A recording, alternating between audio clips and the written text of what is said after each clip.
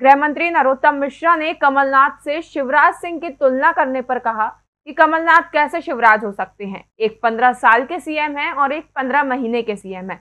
इस दौरान उन्होंने स्कूल शिक्षा नीति और कारावास नीति में बदलाव पर भी बात की। गृह मंत्री ने कमलनाथ पर तंज कसते हुए कहा कि शिवराज जी आपदा में जनता के बीच होते हैं और कमलनाथ कहीं दिखाई नहीं देते। उन्होंने कहा, भारत जोड़ो यात्रा में भी कमलनाथ पैदल चलते नज़र नहीं आएँगे और दिग्विजय सिंह जिसको चाहेंगे उसका नाम सूची में जोड़ा जाएगा।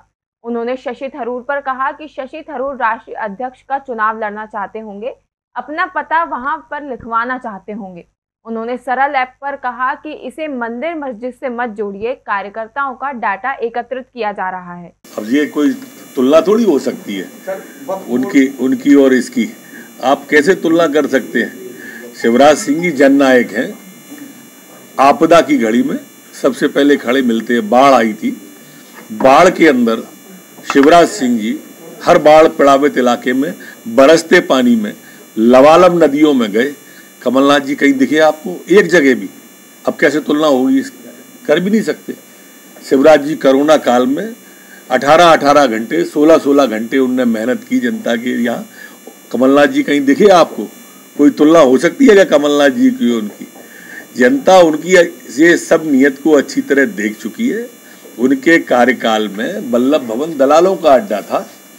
शिवराज जी के समय में ऐसा नहीं है, इसलिए कोई तुलना नहीं है दोनों की। सागर हत्या मामले पर नरोत्तम मिश्रा ने पुलिस को बधाई देते हुए कहा कि बहुत कठिन टास्क था।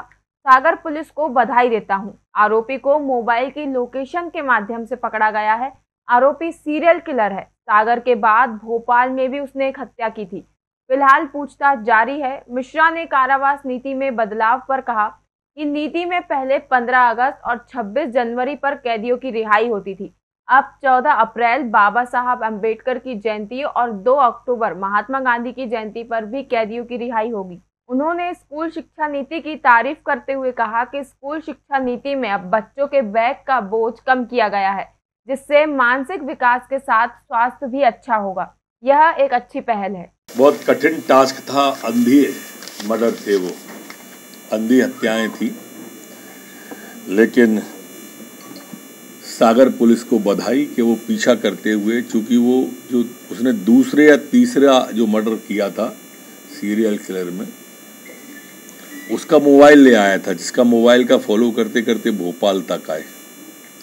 भोपाल में पकड़ा, पर वो भोपाल में एक हत्या चौकीदार की और कर चुका था, जो उसी ने कबूल की। पहले दो पंद्रह अगस्त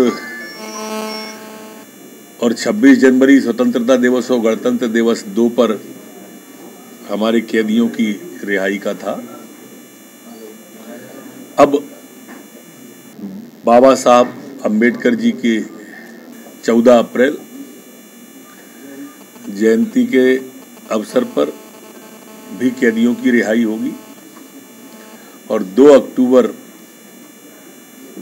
श्रद्धेय गांधी जी की जयंती पर भी कैदियों की रिहाई होगी। ऐसे चार अवसर साल में ऐसे होंगे, दो की जगह, जिन पर इसका लाभ मिलेगा।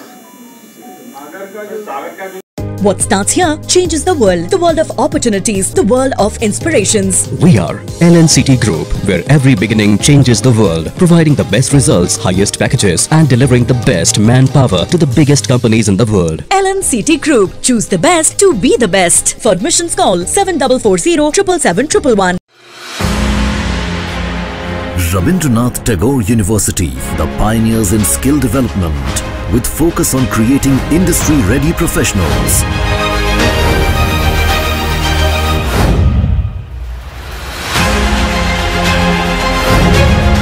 Join India's premier skill-based university, Rabindranath Tagore University.